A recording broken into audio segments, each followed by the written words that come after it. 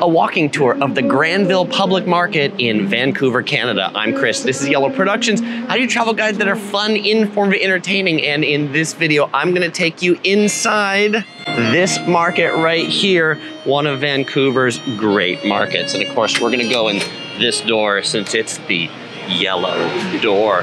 Now, if you're looking for some place to eat that you can definitely take the whole family or whatever group you're with for them to enjoy, you will find something here. There are tons of eateries.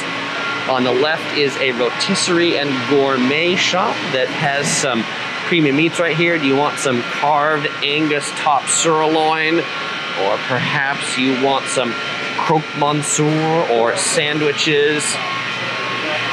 Now, something that's popular in Vancouver is honey. Sure, we're gonna see some maple syrup later, but this stall specializes in honey, honey, and more honey. If you're looking for more of the sweets variety, this macaron shop right here just has macarons. One little macaron's gonna cost you $2. Mango lemonade, black forest, lots of different flavors. On the left, Gourmet Butchers. They've been here since 1981. We've got more baked goods here on the right. We've got some raspberry Lindt cookies right there. Those look pretty good. $3 each. Lots more pastries in here. Let's take a look at some of these meats right here. If you're bringing home some tomahawk steaks, $42 a pound. Those look pretty good. Now, any market is gonna have veggies, and this section right here is the fruit and veg section. Some good blueberries, pomelos. Look at those strawberries, look at those blackberries. We've even got some dragon fruits right here. One of my favorite fruits. Okay, this is the little corner of the public market. There's a coffee shop here called JJ Bean. And now we're gonna go ahead and walk into the central part of the market. As we're going into the central part of the market, on the left, they just sell ham and cheese. That's what we got here. All the ham and cheese you might want, you can find, plus some pickles. Lots more fruit and vegetables from this vendor. Obviously, it's the similar fruit and vegetables that are currently in season you see, this is the central part of the market. We walked in from the bay over there. We can get frozen yogurt here on the right, grains, nuts, and dried fruits from this vendor, kind of bulk things.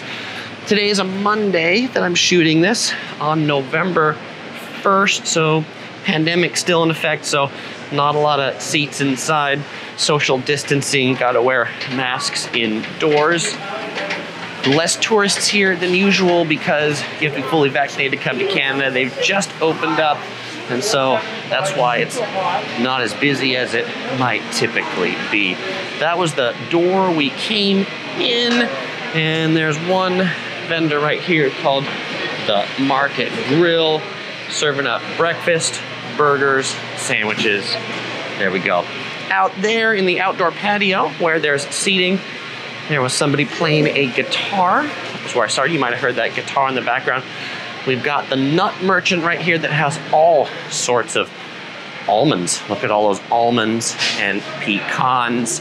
One cone is $12.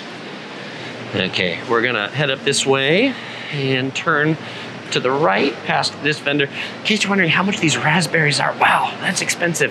$10 a pound for these raspberries. And I guess I never buy raspberries by the pound. I usually buy them by small things. But look at these grapes. These are table grapes. These are some really long, kind of funny looking grapes. Okay, continuing into the market. There's another butcher shop here on the right. Candy apple store on the left, currently closed for candy apples.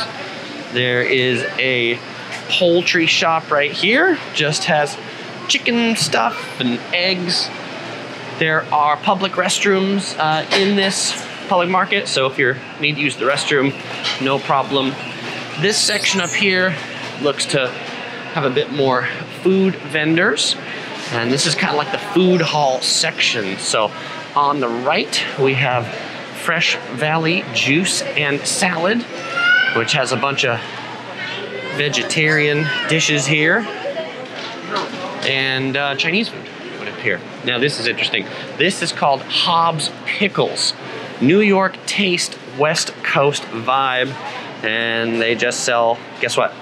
Pickles, pickles, and more pickles. This one's busy. Chow Veggie Express. Just vegetable Chinese food. How do you pick? Uh, if you want something a little more, you know, quick and less vegetables, pizza right here. This is funny. And I say their pizza is seagull approved. Be careful when going outside because there are a lot of seagulls outside. I love the Canadian sense of humor. Sprig. What do we got here at Sprig? This looks like a salad spot. We've got Omi Sushi. And they've got a bunch of pre-made sushi rolls right there.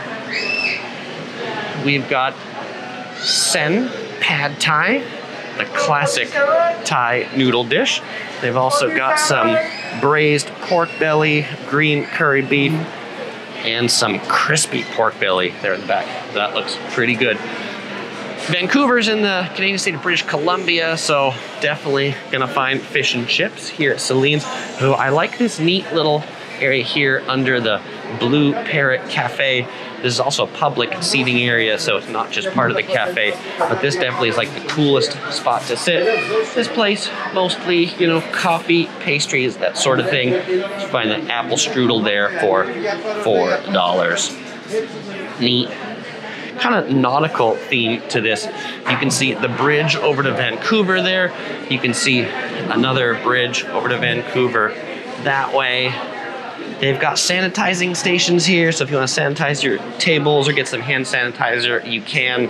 And this is that outdoor seating area again. It's pretty cool today. It's about five degrees Celsius, so most people want to kind of hang out indoors where it's warm and comfy. All right, let's go ahead and walk back through the food hall section.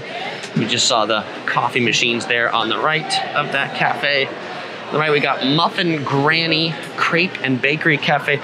They like their baked goods here for sure. A lot of muffins, pumpkin, raisin, spice, and a spot where they can make some fresh French crepes.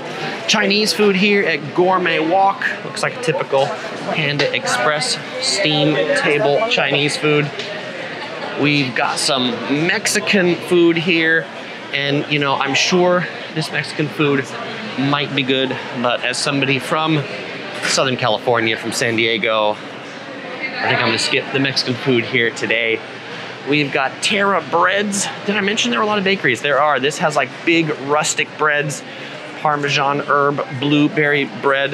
This is cool. They've got cinnamon cardamom cruffins. These were all the rage in New York City a few years ago. The cruffin, the cross between a croissant and a muffin. Kind of like a flaky, buttery muffin. You can build your own sandwiches here. They've got German sausages, gourmet German sausages. This looks pretty good. You can see the sausages back there on the grill, grilling up. They've also got pierogies. Interesting, you don't see pierogies all that often. You can get currywurst, so you can get your sausage with some curry, typical German. Oh, they've even got German schnitzel sandwiches that you could get there. Boy, if I was feeling like some German, I would do that. Oh, and then they show you this is kind of what the picture you get. Uh, onions and sauerkraut always included with your sausage, as it should be. Long liner seafoods.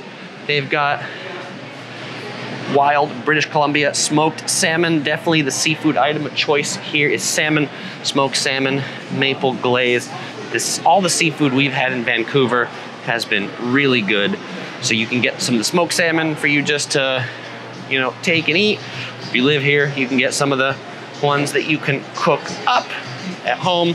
Maybe in your Airbnb, you've got places to do that too. I just love the guy's yellow outfit right there, as you would. All right, there were a couple of spots that we didn't see here. We got Benton Brothers Fine Cheese Coffee Shop on the right. If you're looking for flowers, there's a nice V&J plant shop here on the right. Lots of plants and flowers. South China Seas Trading Company. So this is kind of cool because this is a whole vendor of just um, Chinese like herbs and spices, curries. Maybe not just all Chinese, but definitely Asian flavored. Vancouver has a very large Asian population. So they buy all that. This Oyama Sausage Company had a really long line at the front door.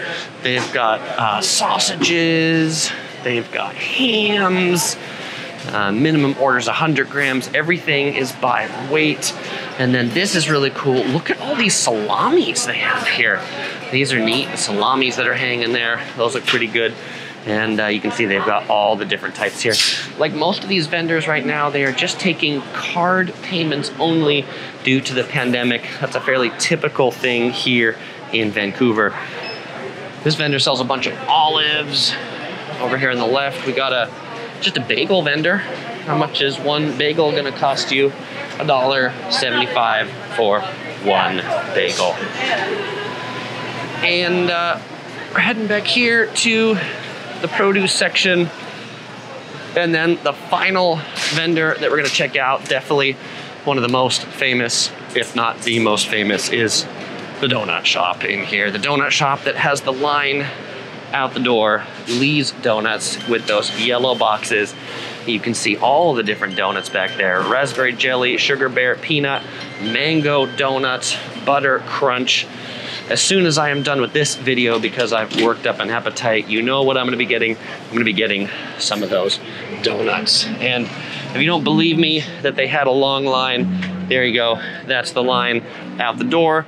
During the pandemic, pretty short, but still you can tell popular that all these people line up here during that pan pandemic.